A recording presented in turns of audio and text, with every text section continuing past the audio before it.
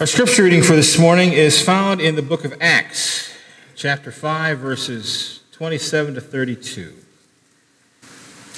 When they had brought them, they had them stand before the council. The high priest questioned them, saying, We gave you strict orders not to teach in this name, yet here you have filled Jerusalem with your teaching, and you are determined to bring this man's blood on us. But Peter and the apostles answered, We must obey God rather than any human authority.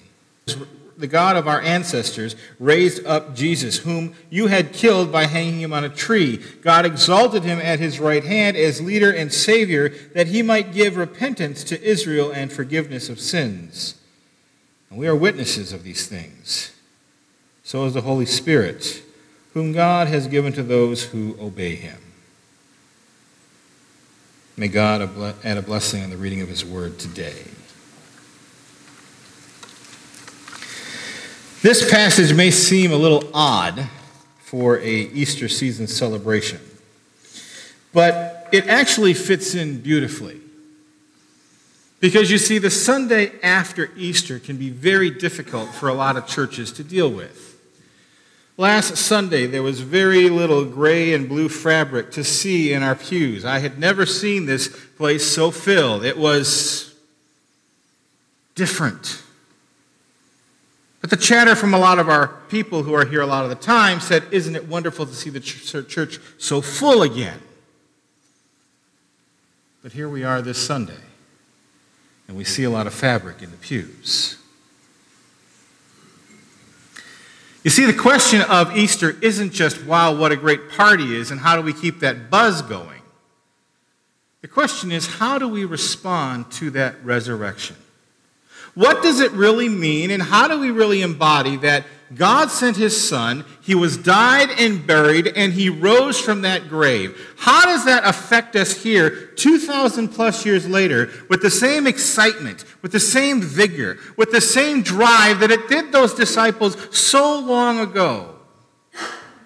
And because it has been a celebration of the year of the church year after year, it is hard sometimes to make it exciting because it's not fresh.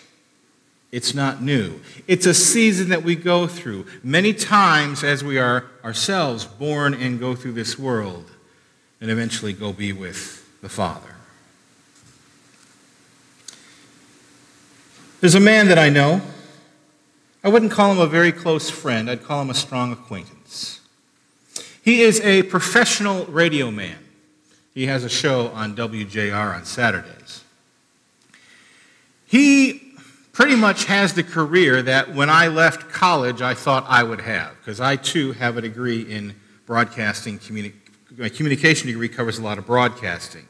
And as I've made the joke before, I have a great face for radio. I thought that's where I was going to end up. This is not radio. He was put in a position about 20 years ago where the programming of his station that he was at at the time was beginning to shift. And the program director, the person who is directly responsible for everything that goes out over the air, every word a DJ says, every word a commentator says, every subject that they talk about, every commercial, every song, every endorsement, he is the one or she is the one that is held accountable. He came to my friend one day and said, This is how we're changing the programming. And it was a format that made my friend uncomfortable.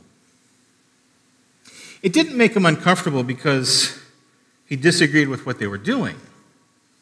It made him uncomfortable because he was budding and new in his faith. And he felt that God was telling him there's something not right about this. So the pressure of his employer, a human authority, was starting to collide, create problems with what his spiritual authority, his God, was telling him to do. He went to his supervisor and said, You know, I'm really struggling with this. And like a lot of supervisors who are under pressure, he said, I will give you X amount of days to think about this, and then I need an answer.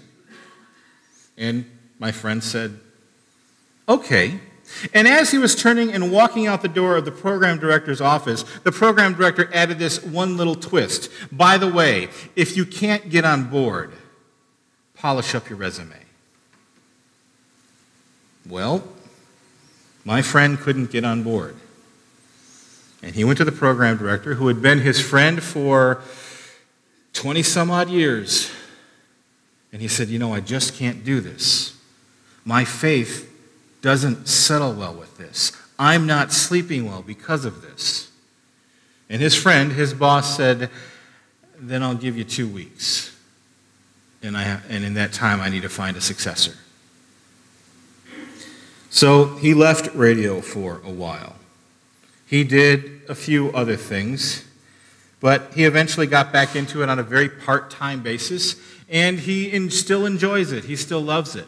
But he made a decision in that moment that if he wanted to truly follow the path that God put before him, to truly be a disciple of Jesus, that he had to sometimes say no to the world when it was putting him in places that did not go along with the teachings of his faith, what he believed, what he embraced.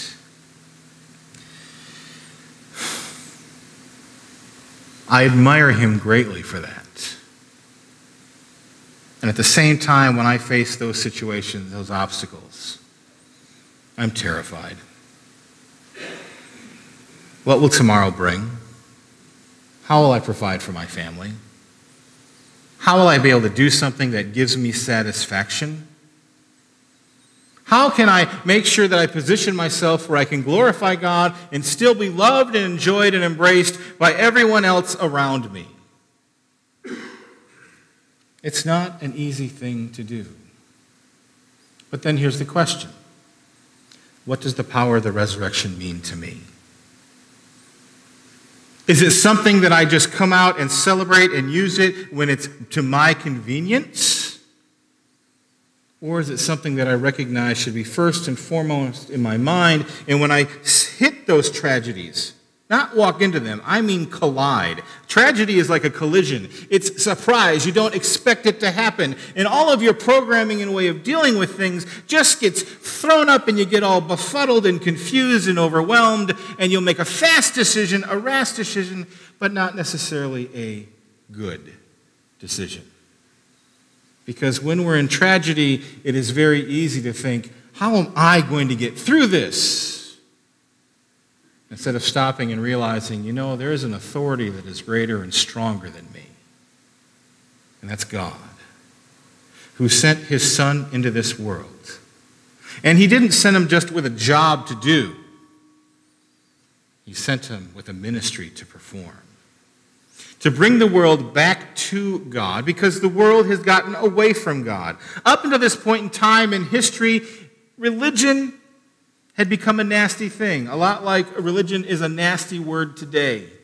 It's institutionalized about texts and traditions and rules and formats, and not so much focused on making sure that anyone who walks through its doors have a good, strong spiritual encounter when they gather to worship have an uplifting feeling when two or more are gathered in his name. Take time to really come together as a body outside of worship and focus and grow in the scriptures. Instead, it's about the color of the carpeting, how nicely the walls are painted, what our stained glass looks like. My goodness, it's cold this morning. Those become the priorities of churches that have become religious and institutionalized. They forget the fundamental, primary, missional element which is to come in, be touched by the movement of God and the Spirit, and then to go out into the world and share what you have had with others. Does it mean taking your Bible and shoving it under someone's nose and say, you need to believe in Jesus? I say no. But it does mean that when you are faced with situations that are difficult or places where you have celebration, you understand you're not alone that the God who refused to abandon his son to the grave is the same God who refused to abandon us when we face the ups and downs of our lives. How do we respond to the resurrection? Let me give you a modern parable. In any town, USA, there's a little church. And in that little church, there's a little boy named Philip. Every Sunday, Philip attended Sunday school with the other eight year olds and of boys and girls that were there at the church, but Philip did not fit in, for he was born with Down's syndrome. And with his differences, he was an easy target for the mocking and the ridicule when he tried to answer questions or play the games. And the results were usual for him, for he would be pushed aside and ignored or made fun of by the other children. The Sunday school teacher did their best to help include Philip, but the other children just could not see past his handicap. So the efforts of the teacher never really worked.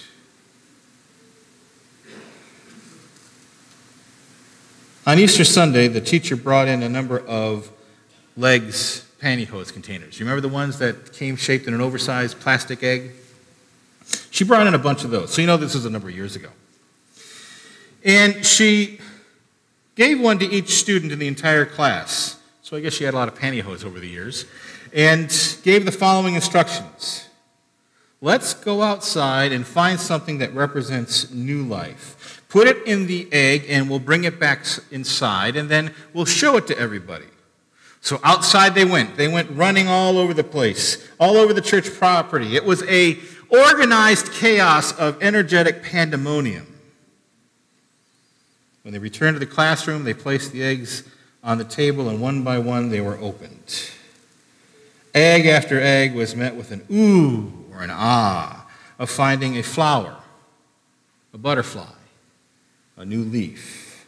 Obviously, that wasn't in Michigan. Not on a day like today. Then they opened the last one, and there was nothing inside. The children stood and looked at it, and then one of them explained, Someone's a real idiot. I guess they learned to say that from their parents. And now another one said, Boy, that's not fair. And another one said, Someone didn't do their assignment. I wonder who that was. And Philip was the one that spoke up. He said, That's my egg. Well, what happened is what you expect to happen. They began to mock and ridicule him. And Philip stood there and took it. And then he finally said, I did so do it right. It's empty because the tomb is empty. The children were shocked. The teacher was amazed. For the answer of this boy who would be mocked and ridiculed and rejected gave not merely a message and fulfillment of this assignment, but also revealed a conviction of faith as well that the resurrection is a real thing. And he wasn't afraid to proclaim it to those who would stand in opposition to him. He was responding to the resurrection. A response that was not afraid, a response that was not embarrassed, a response did not hold back, knowing that there would be a deluge of negative energy and remarks and maybe even a social outcasting. Once again, he stood there and proclaimed an element of faith, just like my friend did to that supervisor so many years ago. How do we respond to the power of the resurrection in this world? It's not easy because we are a species that struggles with our quest for spiritual guidance. We struggle with human beings that are brutal, for we're constantly com- competing with each other for resources, affection, honors, admissions, and promotions. Life can be a jungle, a rat race, a Jew, which makes us very competitive, jealous, even sometimes violent. We struggle with the fact that life is unfair. Some people are wealthy while others die of starvation. Some live to be a 100 while those painfully die before they turn 18. Some are born with wit and intelligence and good looks while others are born plain, disfigured, and have only modest gifts at best. We struggle with guilt for ourselves, constantly unable to live up to our own minimal standards of right and wrong. We live with self accusations of conscience, tortured feelings of inadequacy and guilt and guilt, excuse me. We struggle with our own mortality, knowing that we are here one day and gone the next. The dream of immortality of life, breath, and sunshine surrounded by families will always be cut shorter than we think it should be. And in all of this struggle, we hunger for comfort, hunger for answers Hunger is for things that will give us hope, but also comfort and strength and peace, not only as we face our struggles, but also as we live through them as well. Have you been to a bookstore or a library lately? the section of motivational speakers, philosophers, psychologists, doctors, medical companies, insurance agents, investment brokers, and anyone who can convince us that they have the answers to help us with our problems of health seems to be growing exponentially. And in their work, they put us in a position where we will recast God in an image, a phrase, an idea, as we cry out for help hope, and peace. But in those times, there is a big thing that we're forgetting. God is not someone to be recast. God is not someone to be caught in a single image. God is not someone to be put together in one simple phrase of 16 words or less. God is the creator, the maker, the helper, and the sustainer. We try to take God and recast him in a way that's easy for us to understand so we don't have to do the work. But God has already presented himself in ways that are so simple and wonderful and beautiful. It's our world that makes it more complex because it teaches us to not trust, not give, not forgive, but to try and have dominance in any little kingdom that you can create, whether it be your home, your place of work, your place of worship, your place of leisure, your place of fun. Even when you go out to a restaurant, I've sat there and I've watched people who will rearrange the entire floor plan if they can, just so they can feel confident and secure. When we try to recast God, when we don't see how we need to grow and embrace and be transformed by God, how are we responding to the resurrection?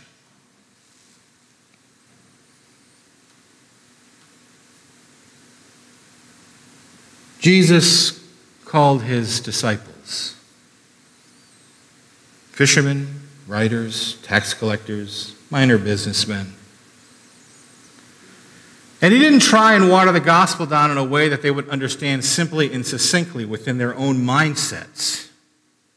Instead, he took them on a journey, a journey in which what they once thought and believed about God grew, it was challenged, it transformed, so that when Jesus was no longer with us, they could walk with a connection, an understanding and a strength and confidence they didn't have before. You see, Peter and the other disciples who are standing before the council in this past were once like those men of the council. They studied and they followed the law, point blank, literally, knowing how to interpret and apply it to their own advantage. But once Jesus came into their lives, once they thought they lost him, and then when they realized that they would never be without him, there was nothing more to be afraid of. Because they knew and they understood that God was with them.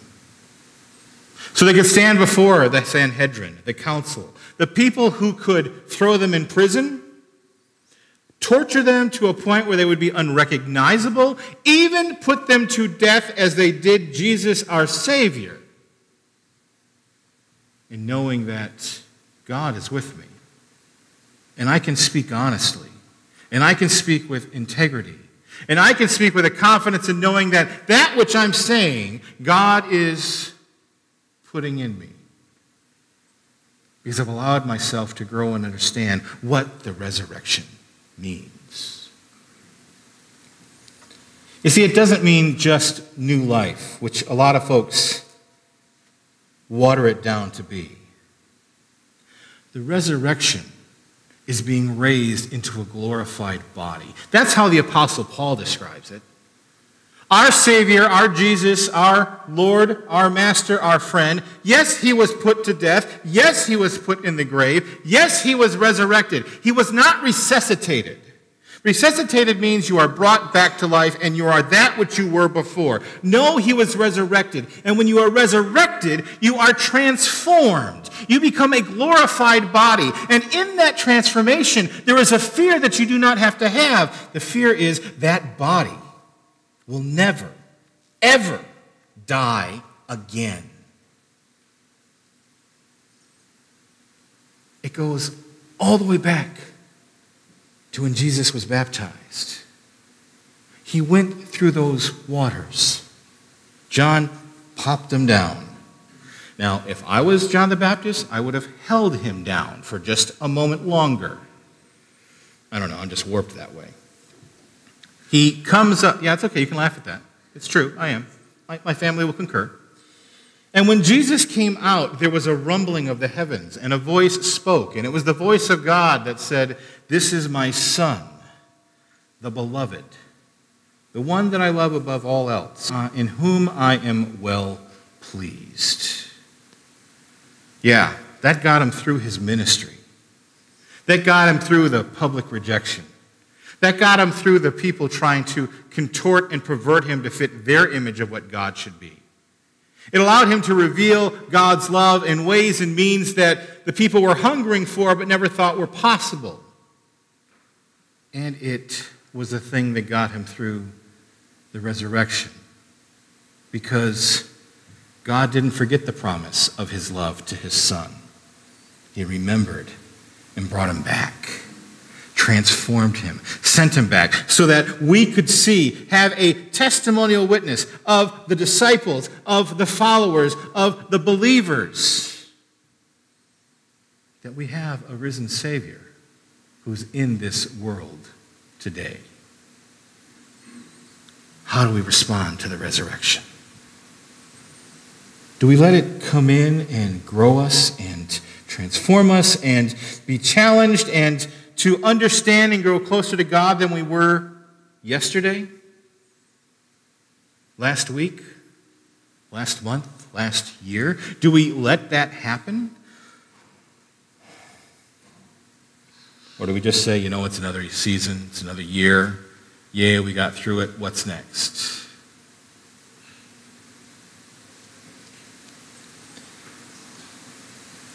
If you say you believe in a risen Savior, if you say you believe in the resurrection, but it stays as an intellectual, philosophical belief, then how do you embody it? How do you wrestle with it? How do you let it come in and grow you to become the creation God created and called each and every one of us to become?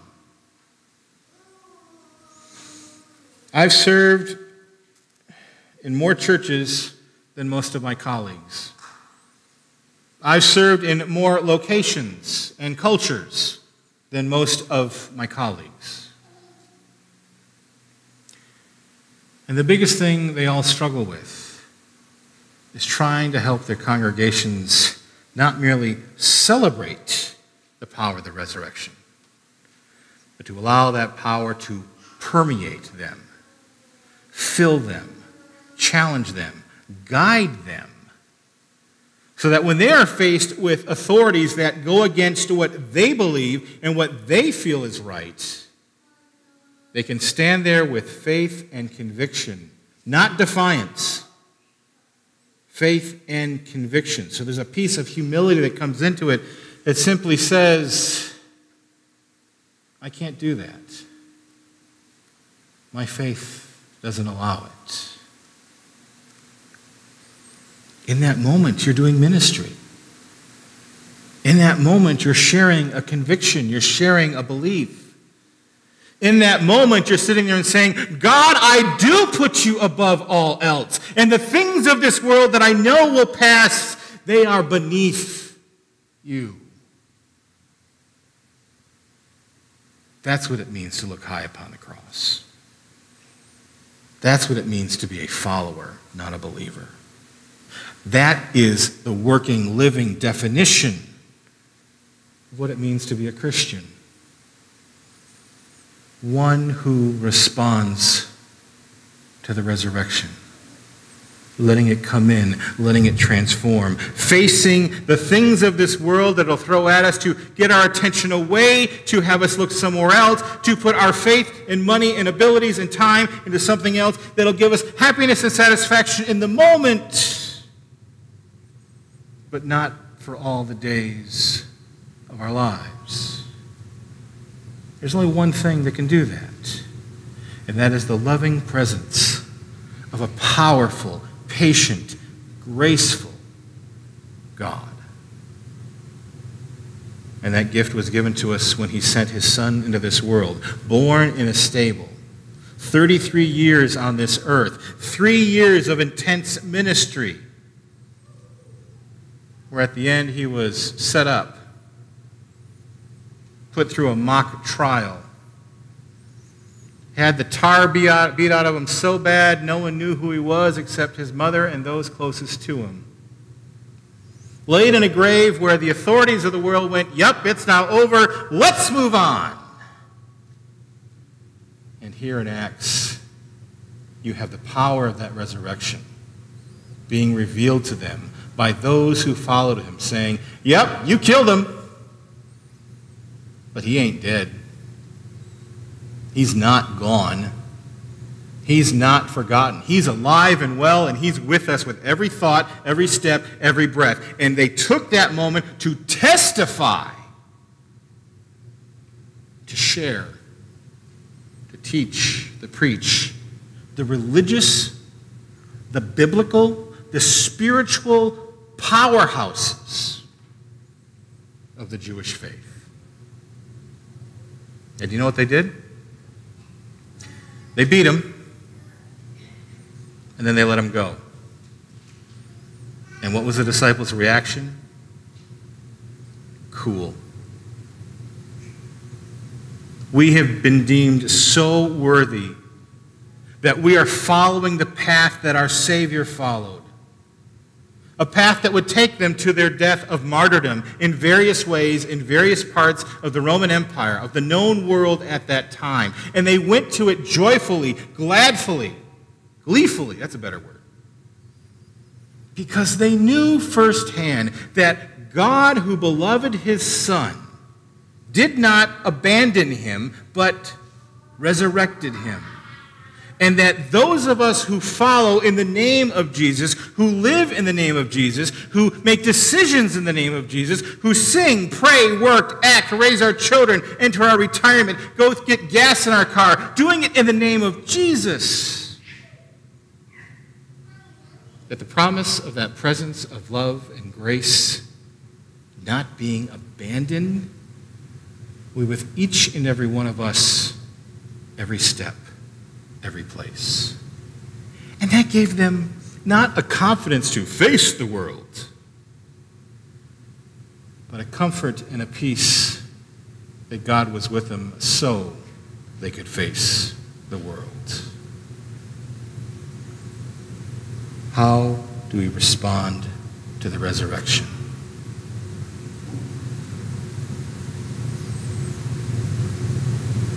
It's not something you can choose to do overnight. It's something that we have to work on every day. Every day. Every day to remember that which we are given. every day to remember that God is with us, that his Son is walking beside us, that his Spirit is filling us. Every time we gather and sing a hymn, every time we gather and break bread at communion. It is not a ceremonial ritual that we're going through. It is an invitation to recommit, to be reminded that God is not only alive and well in this world, that our God has not abandoned us to our fears, to the pressures of this world. Because God's love is true and steadfast. So when you think about the resurrection, and you think about how you're responding to it, and if you sit there and go, man, I ain't doing as good as I should be, that's okay. Ask for forgiveness. God will give it. Restore you, embrace you, and allow that embrace to not just be felt on your happy places in your rib cage, but at the very core of your very being. I think that's a great way to start responding by letting God come in all the way. That way, people see it coming out of us. Would you all pray with me, please? Allow us to respond with reception to you, O God. Allow us to respond with openness to you, O God. Allow us to respond in a way in which we can expect to be surprised as your beauty and your love and the places that you take us and the situations that we find ourselves in unfold in a way in which we can stop and recognize you are there. You have not forgotten us. You have not abandoned us to the finality of doom. but you are empowering us, you are enabling us, so that we can grow and be transformed into vessels of your light, vessels of your grace, elements of your love. For in the way you remembered your son Jesus, you remember us as well because and through your son Jesus. Thank you for being so steadfastly dedicated. We give thanks in your Son's beautiful and glorious name. Amen.